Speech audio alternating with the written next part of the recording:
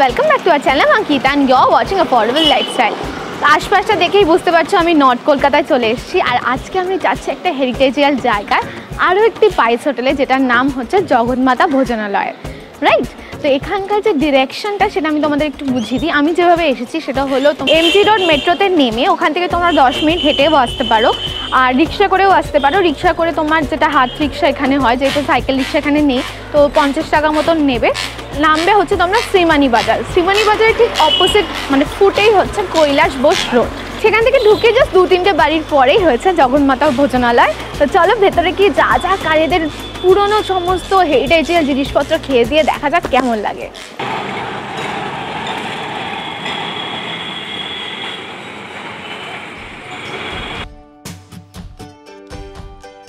কলকাতার অলিতে গলিতে ঐতিহ্য জড়িয়ে রয়েছে। তেমনই একটি জায়গা হলো কৈলাসপুর স্ট্রিটের জগৎমাতা ভোজনালয়, যেটি প্রায় দেড়শো বছর ধরে স্বাদে রসে তৃপ্ত করেছে বাঙালিদের।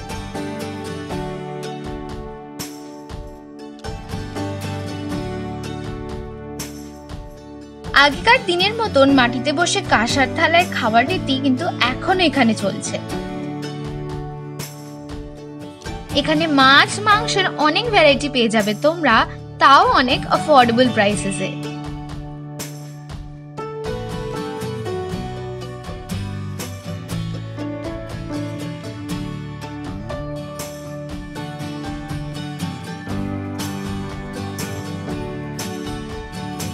তো জগৎমাতা ভোজনালয়ের ভেতরে একদম ঢুকে পড়েছি। প্রচুর আইটেমস আমাদের দেওয়া হয়েছে। এবার এখানকার মালিকের থেকে জেনে নিই কোনটার কি দাম আর কোনটা স্পেশালিটি এখানে।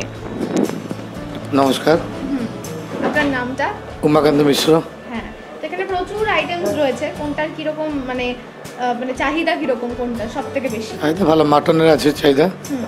মাটন মাছের আইটেম বেশি বেশিরভাগ আর কাঁকড়া আইটেম কাঁকড়ার চাহিদা আছে ভালো। কাঁকড়া লোক খায়। আর মোটামুটি রোজ কতগুলি আইটেম তৈরি হয়? আইটেম মাছের উপরে দশ পনেরো প্রকার হয় আইটেম আরও অনেক আইটেম শেষ হয়ে গেছে। আপনার ভাজা ভুজি হয় ভাজা তিন চার প্রকার হয় সবজি এক একটা আইটেম হয় সবজি আর মটন হয়। আচ্ছা মটন হচ্ছে একশো টাকা আর সবজি হচ্ছে আপনার আট টাকা চাটনি দশ টাকা কাঁকড়া একশো তিরিশ ওই রুই মাছ যেটা আছে ওটা পঁচিশ টাকা চারা বোনা হচ্ছে আপনার চল্লিশ টাকা পার্সে একশো কুড়ি পমপ্লেট হচ্ছে দেড়শো টাকা কাতলা হচ্ছে একশো কুড়ি, ভেটকি হচ্ছে দেড়শো, ডাল পাঁচ টাকা, পাতা হচ্ছে পাঁচ টাকা ভাজাগুলো যত ভাজা হচ্ছে সব পাঁচ টাকা করে, ভাত হলো আট টাকা, প্রথম থালা লেবু পেঁয়াজ দু টাকা। তো এত আইটেমস তো খাওয়া হবে না, আমরা কিছু আইটেম সিলেক্ট করে নেব। তো যেটা তোমাদের বলা এটা হচ্ছে দেড়শো বছর পুরনো, তখন বাংলা পুরো এক ছিল, বিহার উড়িষ্যা সব একসাথে ছিল। তো এখানে কি হয়েছিল, একটা উড়িষ্যার একটা সম্বোধন রয়েছে বাঙালির সাথে।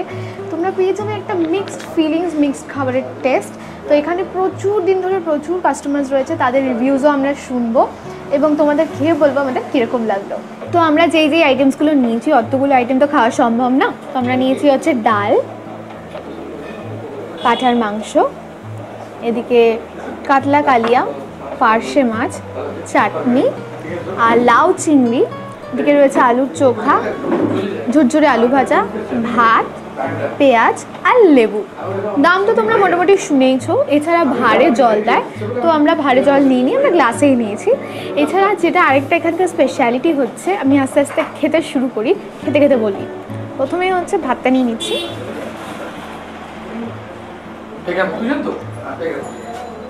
পাঁচ টাকার ডাল হিসাবে কি ঘন দেখো? যথেষ্ট ঘন।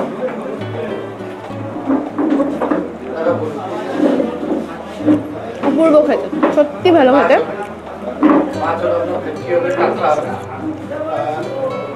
একদম ঘন ভীষণ সুন্দর সেদ্ধ হয়েছে। পেস্ট পুরো ডালটা।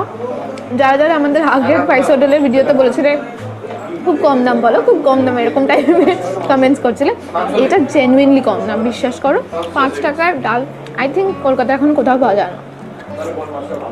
আবার ঝুরঝুরি আলু ভাজার দিয়ে খাই ও, যেটা এখানে মেন স্পেশালিটি আমি একদম বলতে ভুলে গেছি, সেটা হলো কাঁসার থালায় খেতে দেয়। এবং হাইজিনের জন্য উপরে দুটো কলা পাতা দেয়।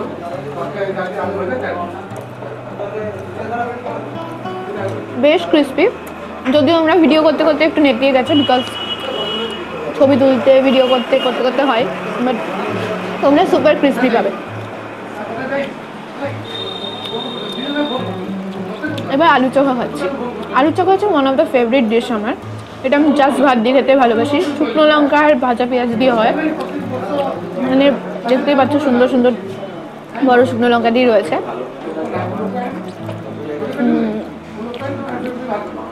ভাজা পেঁয়াজের মধ্যে একটা হালকা মিষ্টতা থাকে রাইট আর হালকা নুনটা মিষ্টি আর ঝাল ঝাল বেশ ভালো লাগছে। এবার যেটা আমার সব থেকে আশ্চর্য লেগেছে সেটা হচ্ছে আট টাকায় লাউ চিংড়ি। মানে বাড়িতেও বোধহয় এত কম টাকায় পাওয়া যায় না। আমি নিয়ে নিচ্ছি কিছুটা পাতে চিংড়ি আগে দেখি কতটা রয়েছে। একটা চিংড়ি খুব বেশি নেই। ঠিক আছে, আট টাকা হিসাবে। আই থিঙ্ক এখানে আরও কয়েকটা রয়েছে। আর এখানে একটা, দুটো, তিনটে রয়েছে। আর আমার পাতে একটা পড়েছে। আট টাকা হিসাবে আর কী বা এক্সপেক্ট করা যায়? আট টাকা শুধু লাউয়ের তরকারিও আমি এক্সপেক্ট করি না।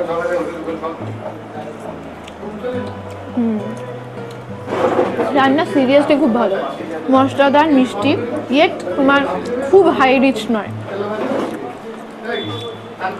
খুবই সুন্দর, একদম একদম বাড়ির নির্ভেজাল খাবার। এবার পাশে মাছটা ট্রাই করছি। এখানে চামচের ব্যবস্থা নেই, তাই আমাকে হাত দিয়েই নিতে হবে। মাছটা আমি ডান হাত দিয়েই নিচ্ছি। সর্ষের জাস্ট জিনিসটা জাস্ট দেখো জাস্ট দেখো মানে খাওয়ার আগে। অতটা ঘন। কালারটাও কি সুন্দর। পার্শে মাছটা ভাঙি। মাছটার সাইজটা বেশ ডিসেন্ট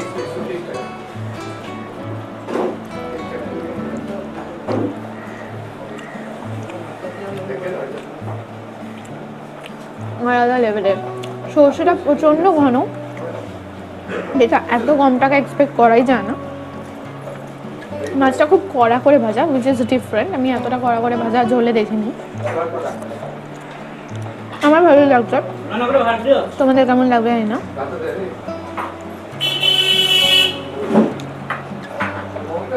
বেশ ভালো সিরিয়াসলি ভালো। তো এবার ট্রাই করব কাতলা কালিয়া। এটাও আগেন আমাকে হাত দিয়ে নিতে হবে। ঝোলটা নিয়েছি, এটা ঝোলটাও ঘন, বেশ রিচ আর কাতলা লাল ব্যাপারটা আমার খুব ভালো লাগে।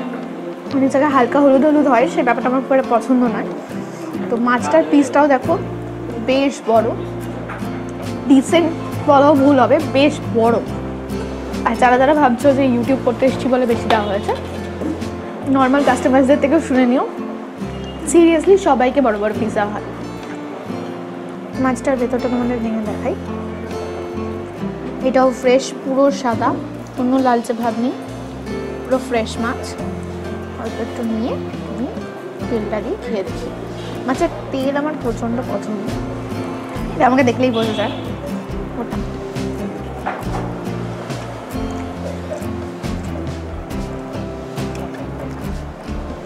পার্শ্বে মাছের ঝোলটার তুলনায় এটা একটু অ্যাভারেজ লাগছে। সাংঘাতিক কিছু ভালো লাগছে না এটা। তবে ওকে মাছটা খুব ফ্রেশ মাছের ভেতর অব্দি একদম সুন্দর সেদ্ধ হয়েছে। বাইরেটা খুব কড়কড়ে ভাজা। এদের সমস্ত মাছই খুব কড়কড়ে করে ভাজা। যেটা আমি দেখলাম। ভেতরটা খুব সফট নুনের পরিমাণটা একদম ঠিক আছে। তবে পাশে মাঝে মানে ওটা খাওয়ার পরে এটা আর রচ্ছে না আর কি। তো আমি শুধু মাটনের ঝোলটাকেই দেখব। মাটনের ঝোলটা বেশ রিচ একদম রবিবারে বাড়ির পাঠার মাংস মাটনটা এক পিস তুলে দেখছি। সিদ্ধ হয়েছে কিনা? হ্যাঁ স্মুথ ভেঙে বেরিয়ে আসছে। পিস মতন দেওয়া হয়েছে। এক, দুই, তিন, তিনটে বড় বড় পিস যথেষ্ট পরিমাণে। দেখি কীরকম লাগে।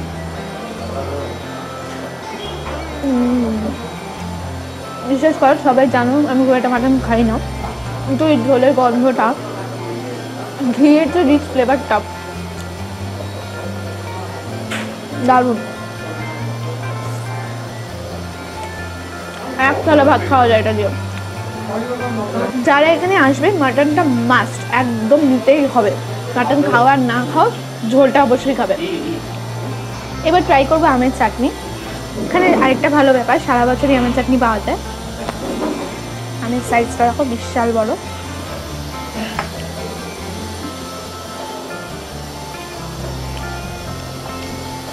শুধু মিষ্টি নয়, টক ঝাল মিষ্টি। ঝাল ঝাল ব্যাপারটা রয়েছে। আমটাও সুন্দর সেদ্ধ হয়েছে। চটপাটা খেতে মানে একদম ওই রেগুলার সেই মিষ্টি চাটনি নয়। তো একটা কথা তোমাদের বলি, ওখানে বাড়ির মতন মাটিতে বসে, মাটিতে বাবু দিয়ে বসে খাওয়ার ব্যবস্থাও রয়েছে। ইনফ্যাক্ট ওটাই ছিল আগে, পরে চেয়ার টেবিল রয়েছে। তো ওখানেই বসে খাওয়ার ইচ্ছা ছিল বাট প্রচণ্ড ভিড় ছিল ওই জায়গাটায় বলে আমরা নেহাতি এখানে খাচ্ছি। এদের খাবারের কোয়ালিটি এবং মান খুবই সুন্দর। বিশেষ করে এখন আজকে যেহেতু করোনার বাজার চলছে বলে আজকে মার্কেট ফাঁকা, অন্যান্য সময় কিন্তু এদেরকে মানে বাইরে দাঁড়িয়ে থাকতে হয়, তারপরেতে এসে আমরা লাইন পাই খাবারের আর মাংস মোটামুটি আপনার দেড়টার মধ্যে সমস্ত কিছু শেষ হয়ে যায় মাটন যারা মাংস খাবার মতো তারা দেড়টার আগে চেষ্টা করে আসার জন্য এখানে। এটাই এখানকার রেগুলার হ্যাবিট আদারওয়াইজ সমস্ত কিছু এদের ভালো এবং অ্যাফোর্ডেবল প্রাইস তো আমরা প্রথম থেকেই দেখে আসছি, এরা এদের খাবারের জন্য লাইন আর পাওয়াই যেত না এক এক সময় এরকম হতো। আবার এক এক সময় বাইরে থেকে আমরা হয়তো ফিরতাম, তখন খাবারের জন্য এদের কাছে হোম ডেলিভারিরেও নিয়ে যেতাম। আর এদের খাবারের মান গুণগতভাবে সব দিক থেকে সুন্দর। মানে তুলনা হয় না, এটা পুরোপুরি ট্র্যাডিশনাল তো এই মাত্র জগৎমাতা ভোজনালয় থেকে খেয়ে বেরালাম আমার এক্সপিরিয়েন্স খুব ভালো ছিল, প্রত্যেকটা খাবার খুব সুস্বাদু ছিল। আর সব থেকে যেটা আমার ভালো লেগেছে, বিভিন্ন পাইস হোটেলে হয়তো খাবার খুব ভালো হয়, কিন্তু প্রাইসেস অনেক হাই হয়। কিন্তু এখানকার প্রাইসেস সত্যি অ্যাফোর্ডেবল আট টাকায় একটা তরকারি আমি জাস্ট ইমাজিনই করতে পারি না, পাঁচ টাকায় ডাল। মানে কোথাও বোধহয় কলকাতা শহরে জাস্ট এমনি হোটেলগুলোতেও পাবে না। আর যেটা আমার সব থেকে একটা ইউনিক জিনিস লাগল, এটা ভালো মন্দর ব্যাপারটাতে আমি যাচ্ছি না। প্রত্যেকটা মাছ একটু কড়া করে ভাজা ছিল। আই গেস এটা সারাদিন ধরে চালাতে হবে, সেই কারণে হয়তো খুব কড়া করে ভেজে ওনারা রাখেন। আর আদারওয়াইজ আমার যেটা সব থেকে ভালো লেগেছে, আমি মাটন ভালোবাসি না ইয়েট মাটনের ঝোলটা ওয়াজ দ্য বেস্ট ওটা এখানে আসলে মাস্ট ট্রাই আর কাতলা কালিয়াটা ওয়াজ অ্যাভারেজ তো এখানে একবার তোমরা আসতেই পারো ট্রাই করতেই পারো। আর সব থেকে হেরিটেজিয়াল সব থেকে পুরনো পাইস হোটেল এটা। আরেকটা ব্যাপার আমি বলতে চাই যে, যখন আমরা সিদ্ধেশ্বরী আশ্রমে গিয়েছিলাম, অনেকেই বলেছিল যে, আরেকটু সস্তার পাইস হোটেলগুলো দেখাও। তো আমার মনে হয় এটা সবচেয়ে সস্তা পাইস হোটেল। আর প্রচুর বছরের পুরনো মানে সব থেকে বেশি পুরনো বোধ এটা। তো তোমরা একবার এসে ট্রাই করে দেখতে পারো। আশা করি আজকের ভিডিওটা তোমাদের ভালো লেগেছে। যদি ভালো লেগে থাকে তাহলে অনেক অনেক লাইক করো আর শেয়ার করো। চ্যানেলটা সাবস্ক্রাইব করতে একদম ভুলো না, পাশের বেল আইকনটিকেও প্রেস করতে ভুলো না। আর কমেন্ট সেকশনে আমাকে জানাও যে আর কোন কোন পাইস হোটেলে আমরা যেতে পারি। অলসো ইনস্টাগ্রামে ফলো করতে একদম ভুলো না। ওখানে অনেক অনেক খাবার ছবি দিই আমি। চলো বাই বাই ভালো থেকো।